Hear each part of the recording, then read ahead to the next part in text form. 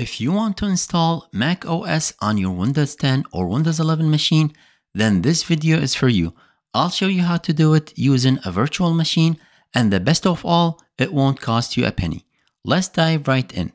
Before we get started, make sure you have at least 80 gigabyte of free space for the Mac OS installation. You need to disable the Windows memory integrity during installation and you need to disable Windows Hyper-V. Alright, to disable the memory integrity, click on the Windows search icon in the taskbar and let's type core. Select core isolation from the suggestions, then toggle the switch to turn it off. Now remember, you can turn it back on once the installation is complete. Next, let's disable the Hyper-V. Again, from the taskbar, click on the Windows search and type CMD. From the right menu, click on Run as an Administrator, then click on Yes when prompted. You should see the command prompt window. Copy this command from the video's descriptions and paste it right here. Then hit Enter. You should see Operation completed successfully. Close the command prompt window and you need to restart your computer to apply the changes. Once restarted, now open your browser and let's search for VirtualBox download. And from the result, it should be the first link. Click on it. And once you're at this page, click the link labeled Windows Host to begin downloading it. It should be around 106 megabyte. Once download is complete, double click on the downloaded file, then click yes when prompted. And now you should see this setup window. Click on next and here you can change the location of the installation folder if you like.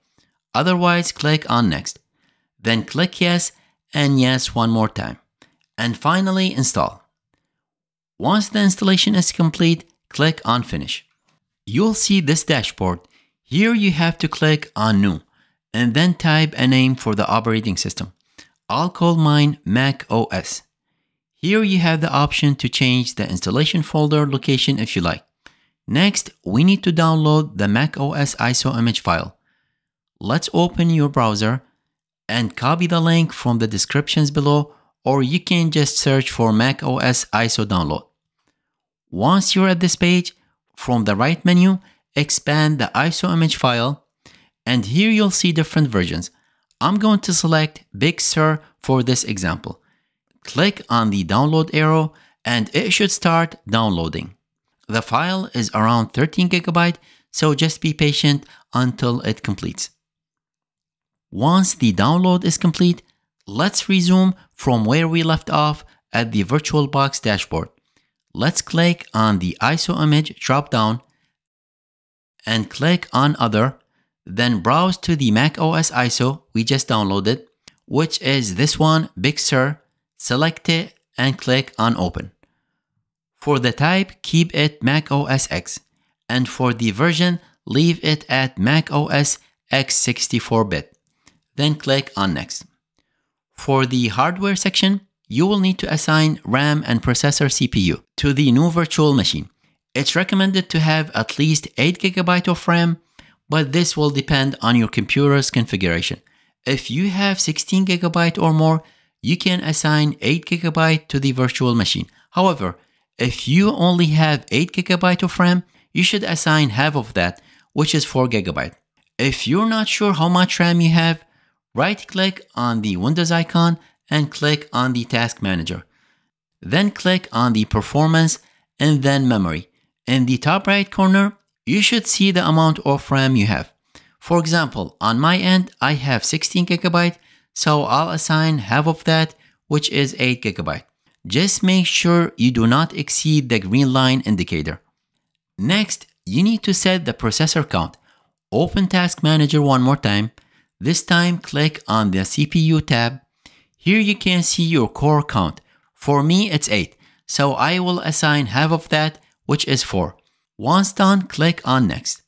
Here, you have to create a virtual hard disk and assign disk space to the virtual machine.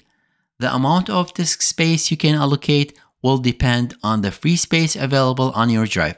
For example, I have 174 gigabyte of free space, so I will allocate around 73 gigabyte to the virtual machine.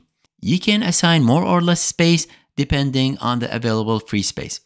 Once done, click on next, then click on finish. Now you will see the Mac OS displayed on the left hand side. Before running and installing it, we need to make some changes. Click on the settings, then select system from the left hand menu. In the boot order section, uncheck the floppy option and make sure that the enable IO APIC hardware clock and EFI are all checked. Next, let's click on the display option and let's set the video memory to the maximum value of 128 megabyte and check enable 3D acceleration option. Then click on the network. Under adapter 1, it should already be set to NAT. For the additional backup, enable adapter 2. Choose a bridged adapter from the dropdown and select your wireless adapter. You don't need to make any changes in the USB section.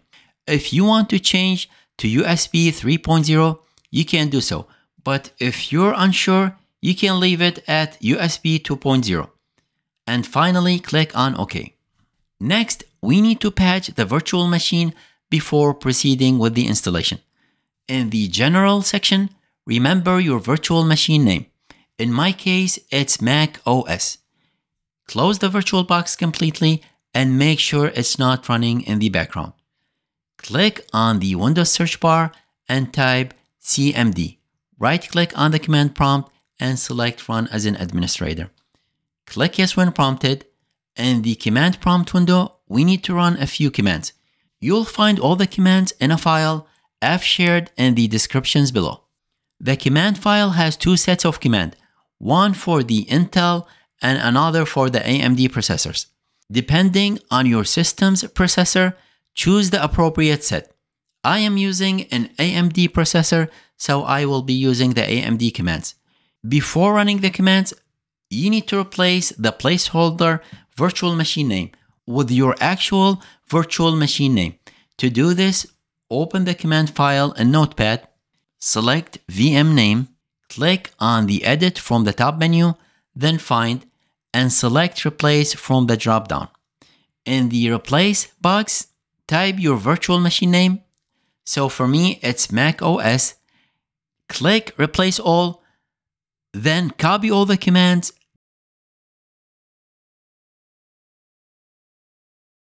and go back to the command prompt.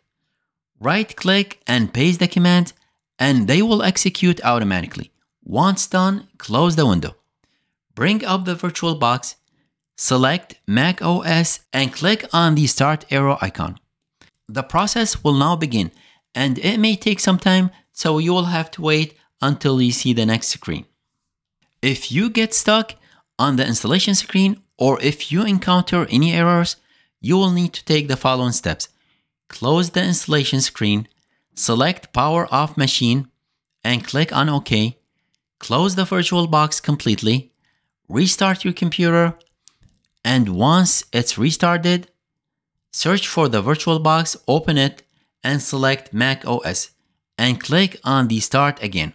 This time, the virtual machine should initialize properly, and you should not encounter any installation errors or stuck on the installation page. The first page you'll see is the language selection. Choose your language and click on the next icon. And here you have four options. Before you click on the install Mac OS, click on the disk utility, then click on continue. From the left hand menu, select VBox hard disk media. You will need to format it. Once selected, click on erase. Give your hard drive a name and click on erase again. When the process is complete, click done. Close the disk utility box now click on install Mac OS Big Sur and then click on continue. Click continue again, then click agree. Select the virtual Mac disk you created and click on continue. Now the installation will begin. This process will take some time, so you will need to wait until it's complete.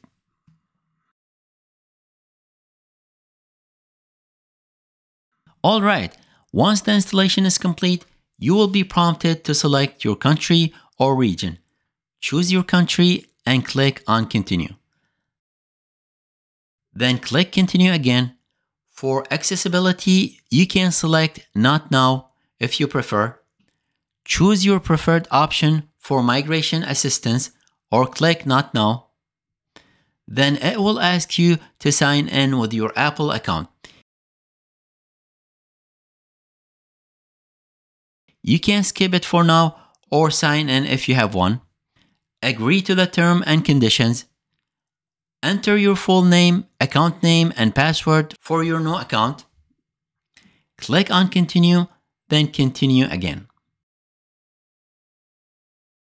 If you want to keep Siri enabled, click continue. Select the Siri voice you want and click on continue. And finally, you're logged in into the Mac OS desktop. You can now enjoy using various applications, explore the Apple Store, and experience the Mac OS interface. Now to switch to the full screen mode, close the virtual machine by selecting power off the machine and click on OK. Open your Windows search bar again and type CMD. Right click on it and select run as an administrator. Click yes when prompted now you need to copy and paste this command, which you can find in the descriptions, and hit enter to execute it. And now you should be in the VirtualBox location. Next, we need to run another command. Before copying and executing the command, we need to replace the machine name with your virtual machine's name. Then set the desired resolution.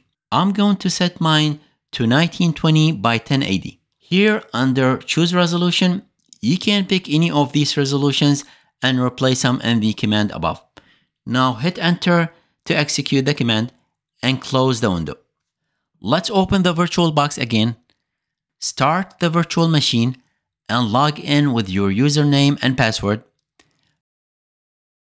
You should now see the resolution has changed to 1920 by 1080p.